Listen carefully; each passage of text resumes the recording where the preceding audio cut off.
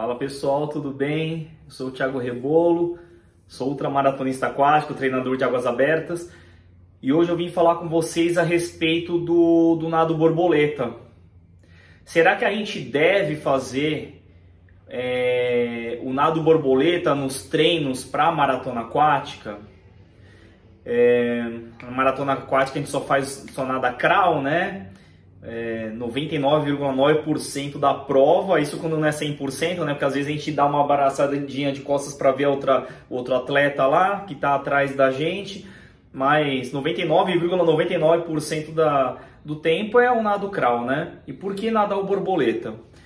É, eu acredito que a gente tenha que fazer por quatro motivos o, o nado borboleta.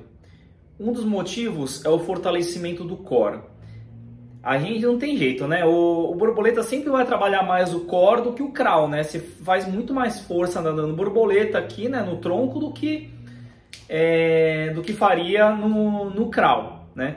Esse é um ponto.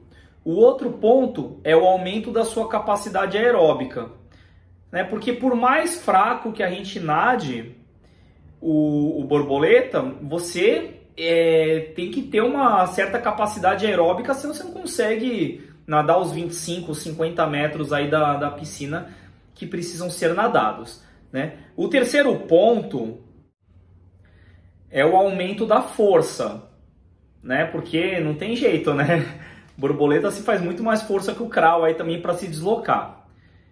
E o, e o quarto motivo é a melhora na finalização, né? Porque você faz o movimento do borboleta, você tem que estimular essa puxada aqui, né?